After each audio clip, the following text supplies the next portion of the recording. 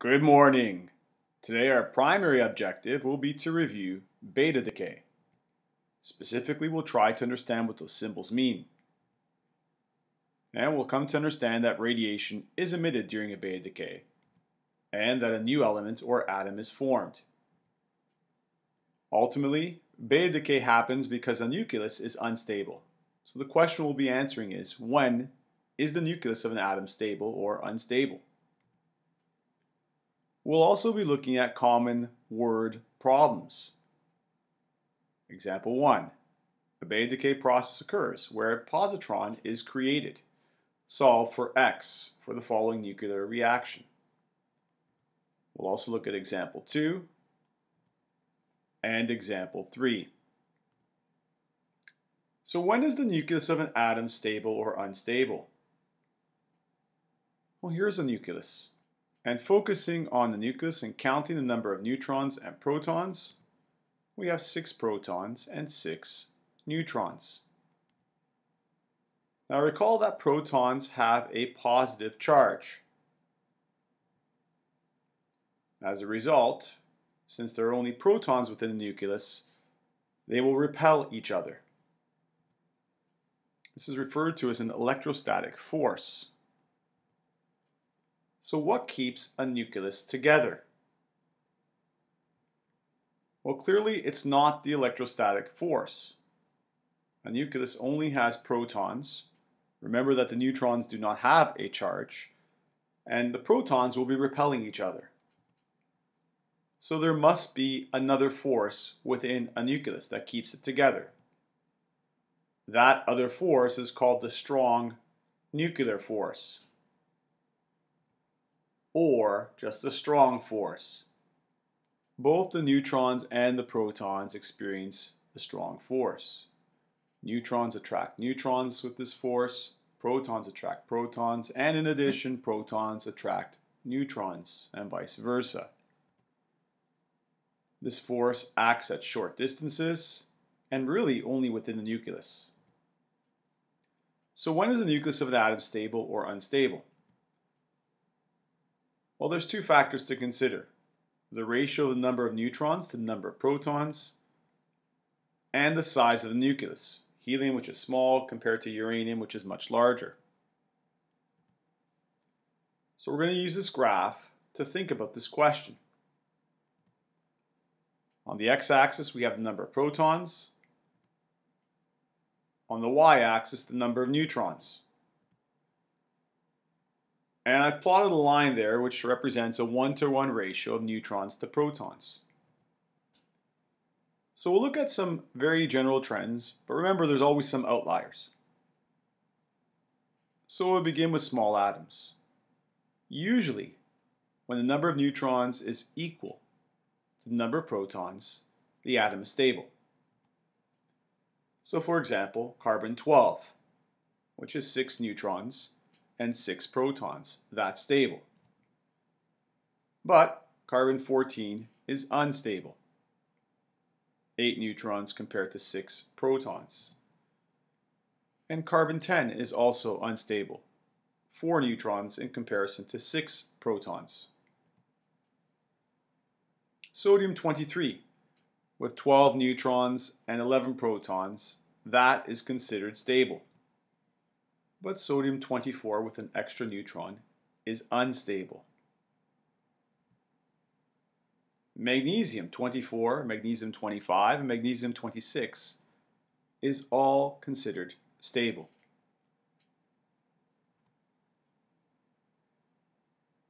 So for larger atoms, in general, the number of neutrons is greater than the number of protons for the atom to be considered stable. Nickel, 58, with 30 neutrons compared to 28 protons is stable. But nickel 63 with 35 neutrons is unstable. Krypton 84 is considered to be stable with 48 neutrons compared to 36 protons, but krypton 85 is considered to be unstable with an extra neutron. A nucleus that is unstable will decay. which means that the number of protons and neutrons will change. During this decay, energy is emitted by the nucleus, and that's why it's called a radioactive decay. The energy is emitted in the form of radiation. So now let's focus on beta decay. During the decay of an unstable nucleus, a beta particle is emitted. And there are two types of beta decay, beta minus and beta positive, or beta plus. Beta minus, an electron is emitted or ejected, and for a beta plus decay, a positron is ejected or emitted. So now let's focus specifically on a beta minus decay.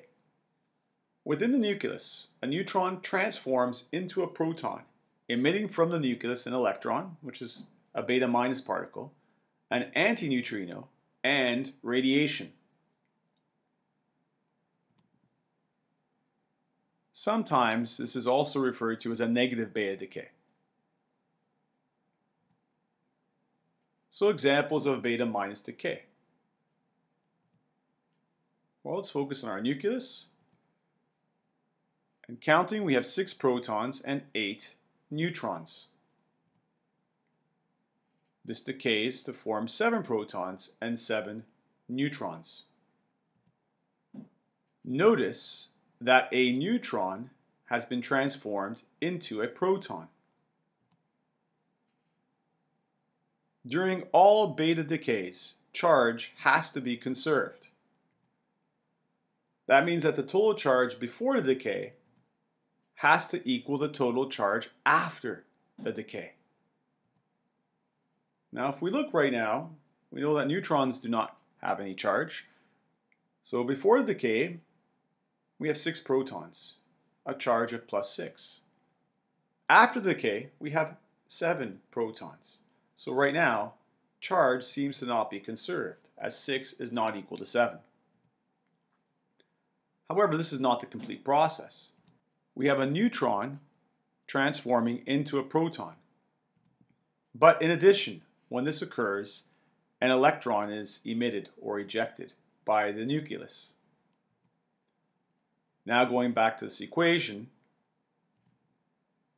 and recalling that we now have to consider the charge of an electron, and that charge is negative 1, now charge is conserved as 7 plus negative 1 is equal to 6. So this is the overall picture of any beta minus decay. We have the conversion of a neutron to a proton, an electron, which is the beta particle, is emitted. Radiation is also emitted by the nucleus. And we have this particle that we haven't discussed yet. It's also emitted. This particle is called an antineutrino. What's important to know about this particle is that it has no mass and no charge.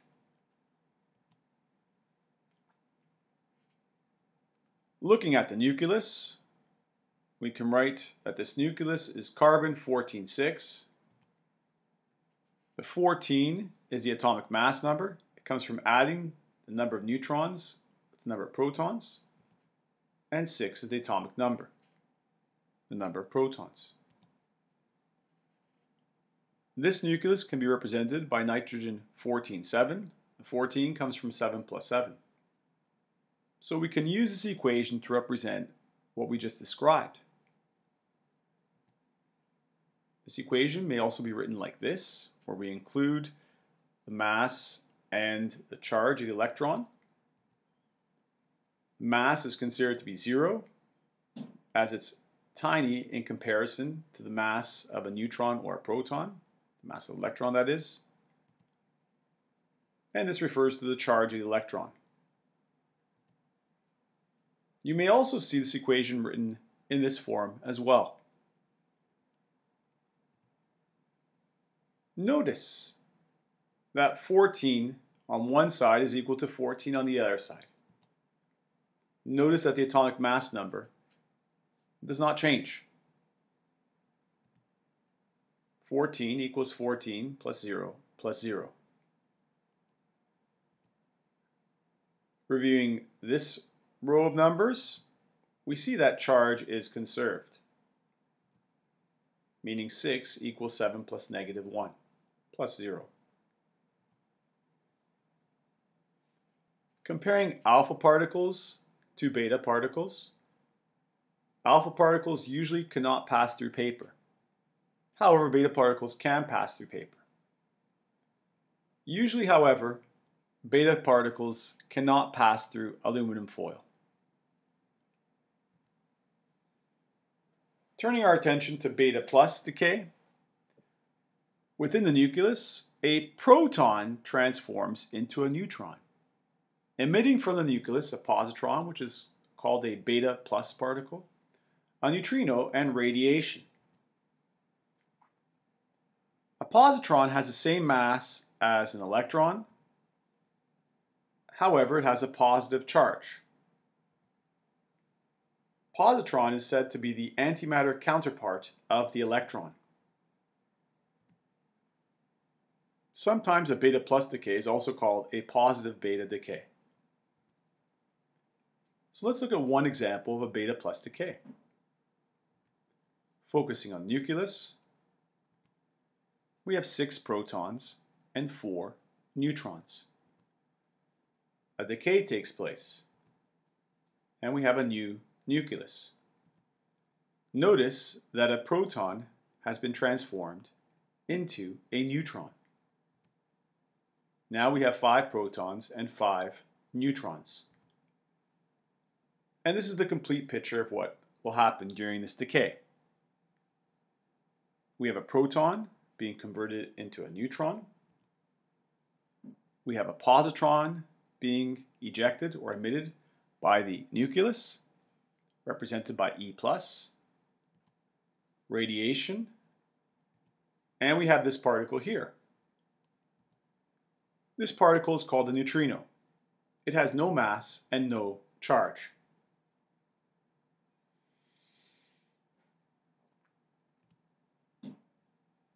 Reviewing this nucleus, we can write it as carbon 10-6. And this can be written as boron 10-5.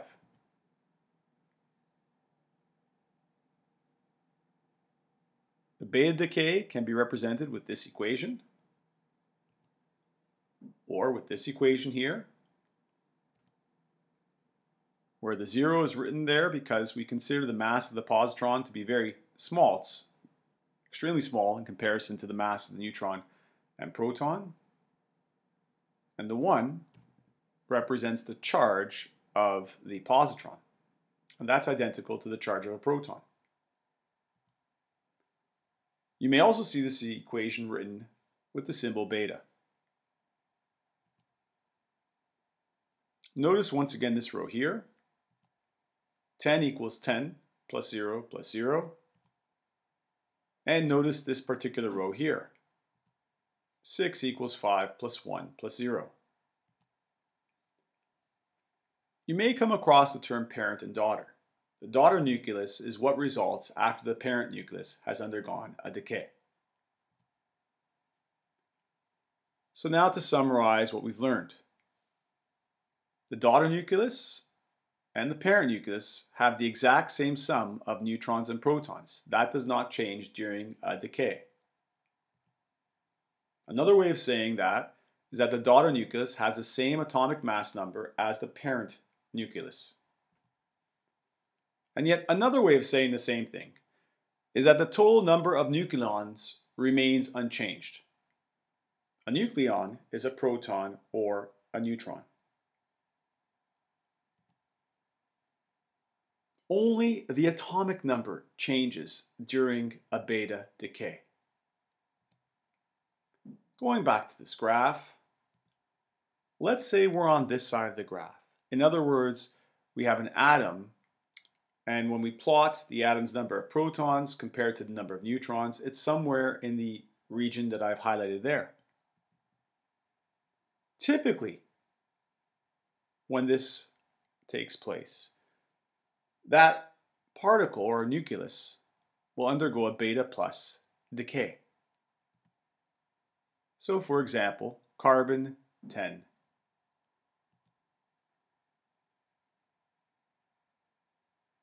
Carbon 10 has 6 protons and 4 neutrons, so if we plot that data point, it'll be approximately in that area there where I've pointed with the arrow. And that will undergo a beta plus decay. When it goes through a beta plus decay, it ends up having 5 neutrons and 5 protons.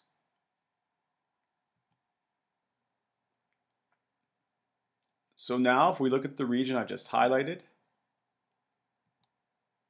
and if we have a nucleus that has a number of protons and a number of neutrons that falls in that region, typically it'll undergo a beta minus decay. For example, carbon 14, which has 8 neutrons and 6 protons. The arrow points to that data point, which is approximately plotted there. And this will undergo a beta minus decay. The resulting product being 7 neutrons and 7 protons, being nitrogen. Now on to our secondary objective, to review those three examples. Example 1. A beta decay process occurs where a positron is created. Solve for x. Please pause the video now. Alright, I hope you've tried this question. I'm just going to rewrite this to include the numbers for the positron. Positron having mass number of 0 and a charge of 1. And now we're just going to focus on that row. 6 equals x plus 1 or x equals 5. Remember, during a beta decay, a beta plus decay, a neutrino is always created as well. So that should be included in the equation. Example 2. Uranium-237 undergoes a beta decay process where an electron is emitted, a beta minus decay. Solve for X for the following nuclear reaction. Once again, when this decay takes place, you should include whether it's a neutrino or an anti-neutrino. In this case, for a beta minus decay, it is an anti-neutrino. Please pause the video now. Okay, I hope you've tried this question. For the electron, I'm just going to rewrite it with a mass number of 0 and a charge of negative 1. Now we're going to walk through the math. 92 equals x plus negative 1, or x equals 93. Finally, example 3. Sodium-22 undergoes a beta decay process where a positron is emitted, beta plus decay. Solve for X for the nuclear reaction. Please pause the video. Okay, I hope you've tried this question. Once again, it's important to note that we should add that a neutrino is also created during this decay. And going through the math, x equals 10 plus 1. Why is it 1? Well, it's 1 because the positron has a charge of 1. Or x equals 11. So, in conclusion, I hope you've enjoyed this review of a beta decay. Have a great day. Bye-bye.